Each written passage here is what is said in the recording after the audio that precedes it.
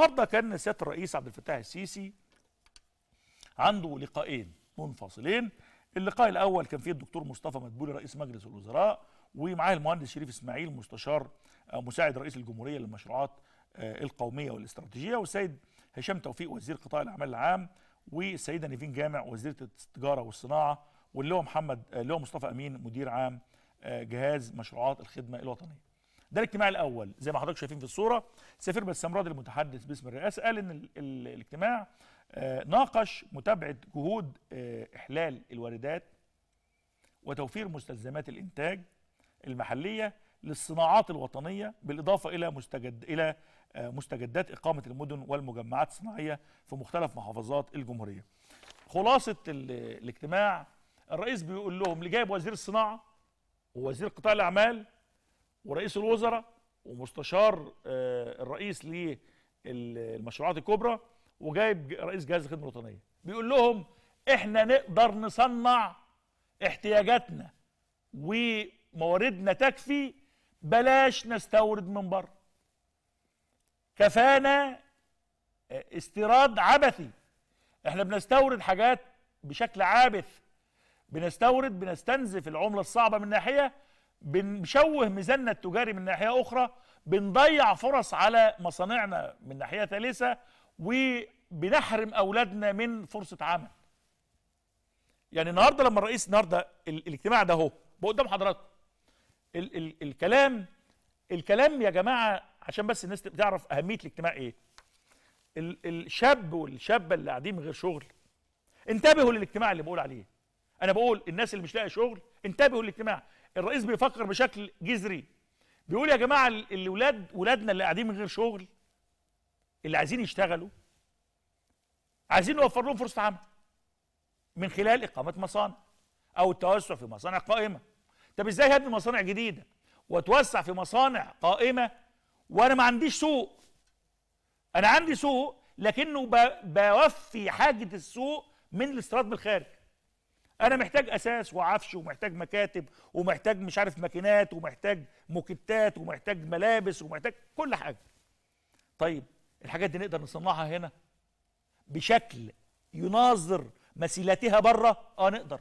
عندي مصانع وعندي تكنولوجيا وعندي ناس وعندي رجال أعمال وعندي رجال صناعة وعندي شركات قطاع أعمال وعندي وعندي وعندي. طيب بتستوردوها من بره ليه؟ سؤال بسيط. سؤال بسيط جدا الرئيس بيسأله طب أنتوا بتستوردوها من بره ليه؟ بنقدر آه نقدر يا ريس. عندنا مصانع عندنا. عندنا ما آه ممكن نقدر نزود ونعمل خطوط إنتاج ونطور ونقطن الصناعة. و... طب إحنا بنستورد من بره ليه؟ ليه تستوردوا من بره وتقفلوا مصانعنا؟ ليه تستوردوا من بره وتستنزفوا عملتنا؟ ليه تستوردوا من بره وتحرم ولادنا وبناتنا من فرصة عمل في بلادهم بشكل محترم؟ ليه؟ ده سؤال الرئيس النهارده وتوجيه الرئيس النهارده للمجموعة اللي قاعدين علينا إن إحنا نوطن الصناعة. كلمة توطين الصناعة بنقولها كتير.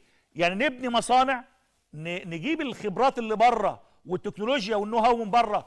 الناس تشتغل نكبر مصانع ونبني مصانع ونفتح فرص عمل ونوفي حاجة السوق المحلي ونصدر كمان عشان نجيب عملة صعبة. هو الموضوع صعب. والله ما هو صعب. أمال إيه؟ إرادة. هي إرادة. ما أنا لما أسيب دي الناس بتستورد من بره ب 70 80 مليار دولار في السنة. 70 80 مليار دولار في السنة. يعني يعني خليها 50 يعني وخلي زيادة الواردات بتاعتي في المنتجات الحاجات الصناعية والمدخلات الصناعية والحاجات اللي بيسموها ماتيريال للصناعة وغيره. لكن أنا بجيب من بره لعب أطفال. بجيب من بره فوانيس رمضان. بجيب من بره مش عارف كافيار. بجيب من بره مش عارف آه، خبز مش عارف إيه من فرنسا. بجيب من بره ملابس آه، جاية مش عارف من فين. عشان أنا بجيب من تركيا ملابس. بجيب من تركيا ملابس. أجيب من من مش عارف ماليزيا ملابس ولا من أمريكا ملابس ولا من الصين ملابس وأنا عندي مصانع ملابس قاعدة بتنش. ما هو ده تدمير للصناعة. أنا بجيب أواني طهي من بره وبجيب كوبايات شاي من بره وبجيب فناجين قهوة من بره. ما أنا عندي مصانع يا جماعة تقدر تعمل هذا الكلام. أنا عندي مصانع تقدر تعمل هذا الكلام. بقول إنه أنا لشعار صنع في مصر إنه يرجع تاني. أنا لشعارات جديدة إن هي تخلق من جديد. احترم بلدك يا أخي احترم صناعة بلدك اشتري المنتج بتاعك. وبقول ده للمستهلك بقول للصانع بقى يا أخي احترم بلدك وصنع كويس. احترم المستهلك وأذواق المستهلك ورغبات المستهلك واعمل سلعة واعمل بضاعة واعمل صناعة محترمة. يا جماعة إحنا إحنا إحنا تايهين في غرفة مظلمة بنبحث جميعا عن قطة سوداء. حاجة غريبة جدا. إحنا عايزين البلد تبقى عظيمة جدا. وعايزين نشغل الناس وعايزين نرفع من مستوى دخل الناس وعايزين نقلل من الميزان التجاري اللي متنيل وعايزين نوفر عملة صعبة وعايزين ننطلق. كلنا بنقول نفس الكلام في نفس الوقت. وفي نفس الوقت الواحد يطلع يشتري الشوكولاتة من بره يشتري البدلة من بره يشتري مش عارف إيه مستورد يقول لك دي تركي دي جاية من أمريكا دي جاية من فرنسا. بص ميد ان مش عارف إيه. بص ال... إيه يا عم في إيه؟ يعني خلاص يعني انت بقيت خواجة ابن خواجة يعني؟ طب يا سيدي نرجع نعتمد على صناعتنا المحلية. الناس الصناع يبداوا يرفعوا المستوى الصناعة والجودة وسعر معقول. والمستهلك يشتري منتج محلي. هو المستهلك لما يشتري أنا لما أشتري بدلة أو أشتري لبس أو أو أي حاجات من السوق المحلي صناعة محلية دون أن أدري أنا بستفيد. ابني بيشتغل وبنتي بتشتغل بيبقى عنده دخل بتتحرك العجله الاقتصاد. اجتماع الرئيس النهارده أنا بس مش عايز أتوسع بشكل بس أقول لكم اللقطه النهارده إن سيادة الرئيس بيقول للمجموعة شريف إسماعيل ومصطفى مدبولي مع حفظ الألقاب ونيفين جامع ومصطفى أمين ومين كمان معاهم؟ إبراهيم ووزير قطاع الأعمال. يا جماعة مش أنتوا اللي ماسكين الشغلانة دي؟ طيب يلا يا جماعة إحنا إحنا ليه ما بنصنعش؟ إحنا عندنا أكبر حركة لإعادة صناعة الغاز والنسيج والمنسوجات والصباغة. يلا نتحرك. والله والله لسه حد امبارح بيقول لي بيصدروا تيشيرتات مش عارف مصرية تجربة لإفريقيا. يقول لك التيشيرت مش عارف بيكلف كام بيبيعوا بكام؟ حاجة عظيمة جدا. حاجة عظ... حاجة بقول لك مبهورين بالقطن المصري. يا جماعة إحنا عندنا قادرون على صناعة ما لا يستطيع الآخرون صناعته. عندي أفضل نسك في العالم عندي قطن عندي عندي حاجات. أنا أنا أنا مش مش مش جاهز لحضراتكم بالحاجات اللي عندي ميزة نسبية فيها. لكن بقول تاني والله الصانع المصري اللي في دمياط اللي كان بيعمل الأثاث واللي دمروه اللي بيستوردوا أثاث من الصين هو عايز يكسب بيجيب من الصين جاهز ويحط معارض والناس تشتري. حاجات بقى مزخرفة عملنا مدينة دمياط الأثاث وجبنا التصميمات والناس ال designer وغيره يلا عشان نطور الموضوع عشان نرجع تاني نوفي سوقنا المحلي من الأثاث الدمياطي العظيم ونبدأ نصدر بره يا جماعة. زمان كان في دمياط مشهورين بالأساس والجبنة الدمياطي والمشبك.